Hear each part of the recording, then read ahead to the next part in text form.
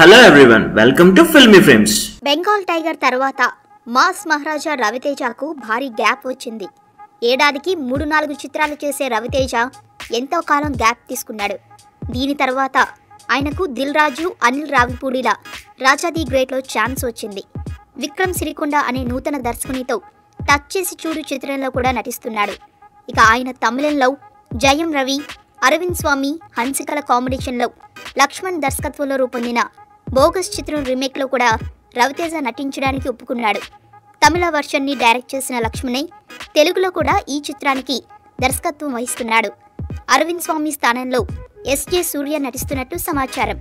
ఇక కొంతకాలం క్రిందట స్టార్ డైరెక్టర్గా సినిమాకి పది నుంచి పదిహేను కోట్లు పారితోషికం తీసుకున్న Srinu Vaitla Aagadu Bruce Lee Mister చిత్రాలలో అదో పాతాళానికి వెళ్ళాడు.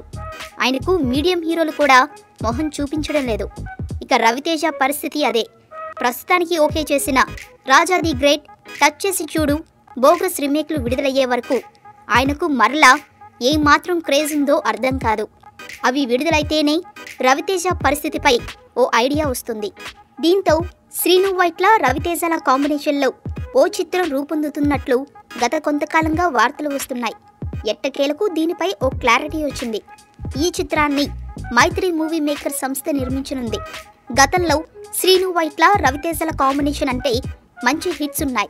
ఆ నమ్మకంతోనే మైత్రి మూవీస్ చిత్రం ఈ చిత్రం కోసం కొంత బడ్జెట్ని కేటాయించి ఆ బడ్జెట్ లోపలే పూర్తి చేయాలని శ్రీను వైట్లకు కండిషన్ విధించింది. శ్రీను వైట్లకే కాదు రవితేజకి కూడా రెమ్యూనరేషన్ అంటూ ఏమీ ఉండదు. సినిమా విడుదలైన తర్వాత లాభాలు వస్తేనే వాటిలో వీరిద్దరికీ షేర్ ఇస్తారు.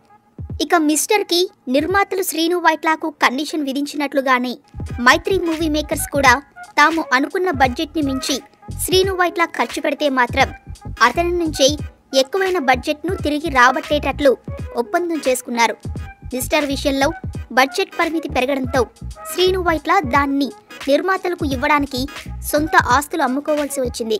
మరి ఈసారి శ్రీను వైట్ల రవితేజాలు ఏమి చేసి తమను తాము నిరూపించుకుంటారో వేచి చూడాల్సి ఉంది. ఈ వీడియో మీకు నచ్చినట్లయితే లైక్ చేయండి షేర్ చేయండి. మరిన్ని గాసిప్స్ కోసం సబ్స్క్రైబ్ చేయండి.